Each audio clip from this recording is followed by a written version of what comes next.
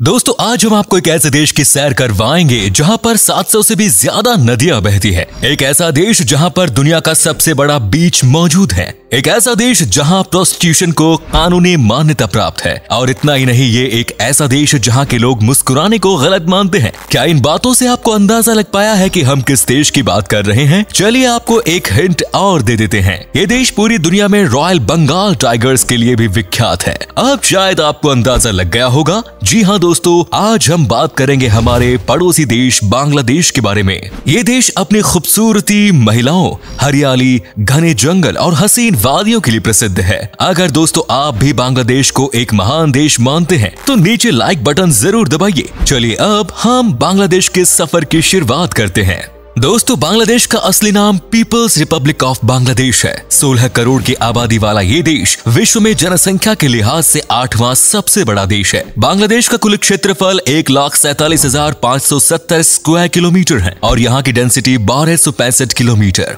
ये बात तो आप सभी जानते ही हैं कि सन 1947 में हमारे देश की आज़ादी से पहले बांग्लादेश भी भारत का ही हिस्सा हुआ करता था। लेकिन मुस्लिम जनसंख्या अधिक होने के कारण इसे पाकिस्तान में शामिल कर दिया गया और इस देश को ईस्ट पाकिस्तान नाम दे दिया गया। इसके बाद 1971 में भारत की मदद से बांग्लादेश को आज़ादी मिल पाई और ये एक स्वतंत्र देश बन पाया। बांग्लादेश को पाकिस्तान से आज़ाद कराने के लिए इस देश के लोगों को काफ़ी संघर्ष भी करना पड़ा। अब आप सोच रहे होंगे कि आखिर इस देश का नाम बांग्लादेश ही क्यों रखा गया? आपको बता दें कि बांग्लादेश दो शब्दों से मिलकर बना है, बांग्ला और देश, जिसका मतलब होता है कि बांग्ला भाषा बोलने वालों का देश। इस देश की लगभग अट्ठानवे प्रतिशत आबादी बांग्ला भाषा में ही बात करती है। इतना ही नहीं, बांग्लादेश के लोगों का रहन सहन खान पान काफ़ी हद तक भारत के पश्चिम बंगाल से मेल खाता है। दोस्तों, बांग्लादेश उन चुनिंदा देशों में से एक है जहाँ आधी से ज़्यादा आबादी रूरल एरियाज़ में रहती है। बांग्लादेश की कुल उनतालीस फ़ीसदी आबादी शहरी इलाके में रहती है, वहीं अन्य इकसठ फ़ीसदी आबादी गाँव के इलाके में रहती है। बांग्लादेश में कुल सड़सठ फ़ीसदी लैंड पर कृषि और खेती बाड़ी की जाती है, और इसीलिए यहाँ आधी से ज़्यादा आबादी कृषि के ज़रिए ही अपना जीवन यापन करती है। यानी कि कुछ बड़े शहरों को छोड़ दिया जाए तो लगभग पूरा बांग्लादेश में हर जगह कृषि ही की जाती है। चावल उत्पादन के मामले में बांग्लादेश विश्व में चौथे नंबर पर आता है।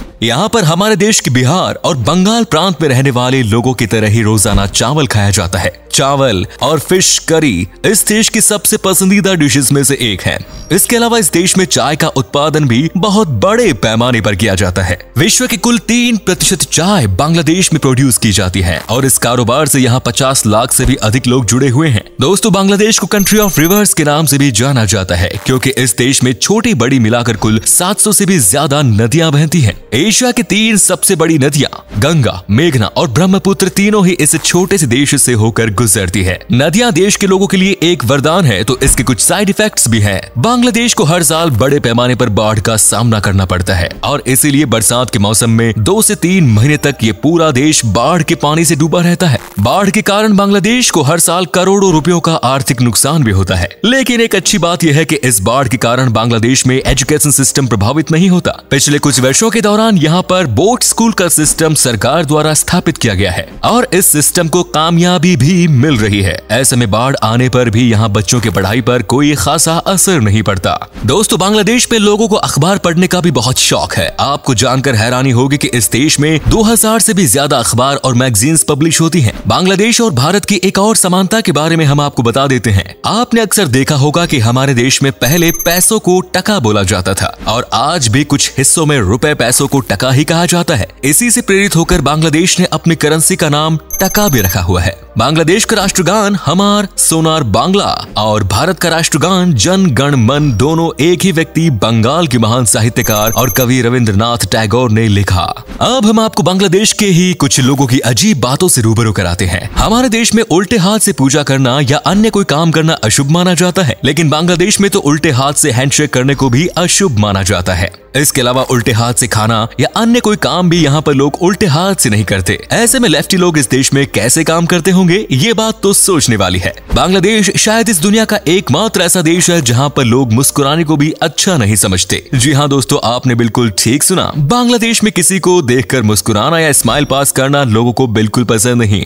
मुस्कुराने को यहाँ पर बचपना और नासमझे की निशानी समझा जाता है। और इसीलिए वहाँ पर आपको बहुत से लोग एंग्री मैन के लुक में दिखाई देते हैं। दोस्तों, बांग्लादेश के विकास में यहाँ मौजूद भ्रष्टाचार एक बड़ा बैरियर सामने आता है। यहाँ नीचे से लेकर ऊपर तक सभी लोग बेहद भ्रष्ट हैं और कहा जाता है कि बिना रिश्वत और घूसखोरी के यहाँ पर आपको कोई काम नहीं करा सकते। बांग्लादेश में आज भी लगभग इक्यावन फ़ीसदी लड़कियों का बाल विवाह करा दिया जाता है। पिछले कुछ वर्षों के दौरान बाल विवाह रोकने के लिए कुछ बड़े फैसले ज़रूर किए गए हैं और अच्छे एजुकेशन सिस्टम के कारण इस दर में गिरावट भी देखने को मिल रही है। बांग्लादेश विश्व के उन देशों की सूची में शामिल है जहाँ पर प्रोस्टिट्यूशन यानी कि जिसमें फिरोशी को कानूनी मान्यता प्राप्त है। बांग्लादेश का नाम विश्व के सबसे बड़े रेड लाइट एरियाज़ में आता है।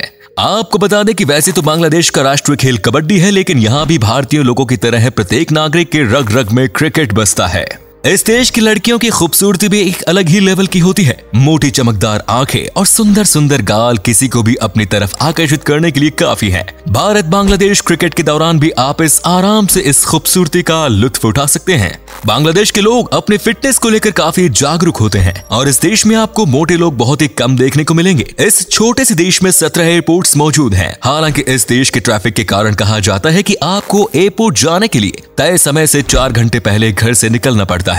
चलिए अब इस देश के प्रमुख टूरिस्ट प्लेसेस और मुख्य शहरों की बात कर लेते हैं। सबसे पहले बात करते हैं देश के सबसे बड़े शहर और राजधानी ढाका की। आगे बढ़ने से पहले बता दें कि बांग्लादेश साफ़ सफ़ाई के मामले में बहुत ही पिछड़ा हुआ है और ढाका विश्व की सबसे गंदी राजधानी भी मानी जाती है। ढाका को मस्जिदों के शहर के नाम से भी जाना जाता है। कहा जाता है कि यहाँ पर हर गली मोहल्ले में मस्जिद ही बनी हुई है। इस शहर में एक हज़ार से भी ज़्यादा मस्जिद है। इसीलिए आप जहाँ भी जाएँगे, आपको आसानी से मस्जिद देखने को मिल जाएँगी। हालाँकि पिछले कुछ सालों से यहाँ की सरकार ढाका को एक आधुनिक और विकसित शहर बनाने के लिए काफ़ी मेहनत भी कर रही है। बांग्लादेश में ही विश्व का सबसे बड़ा बीच भी मौजूद है, जिसका नाम है बाज़ार बीच। इस बीच की लंबाई 80 मील, यानी लगभग 135 किलोमीटर है। इस बीच के किनारे यहाँ का सबसे बड़ा बाज़ार भी लगता है। साथ ही ये बांग्लादेश की लाइफ लाइन भी कहा जाता है, क्योंकि इस समुद्र के किनारे ही देश के सबसे बड़े बंदरगाह बने हुए हैं। इसके अलावा चिट्टागोंग भी एक बहुत ही खूबसूरत शहर है। यहाँ के पहाड़, झीले और सुहाना मौसम सैलानियों को बड़ी मात्रा में आकर्षित करता है। इस शहर को गेटवे ऑफ़ बांग्लादेश भी कहा जाता है। यदि आपको चाय के बड़े बड़े बागान देखने हैं तो सिलहेट नाम के शहर का आप रुख कर सकते हैं। बांग्लादेश का सबसे प्रसिद्ध टूरिस्ट प्लेस है ये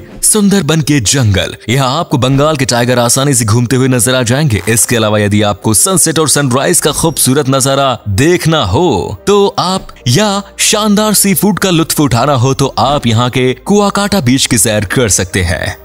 तो दोस्तों, ये थे हमारे पड़ोसी देश बांग्लादेश के खूबसूरती की कहानी। उम्मीद करते हैं कि आपको हमारी ये वीडियो पसंद आई होगी। चलिए, अब हम आपसे विदा लेते हैं। फिर मिलेंगे एक नए देश की रोचक जानकारी के साथ। धन्यवाद।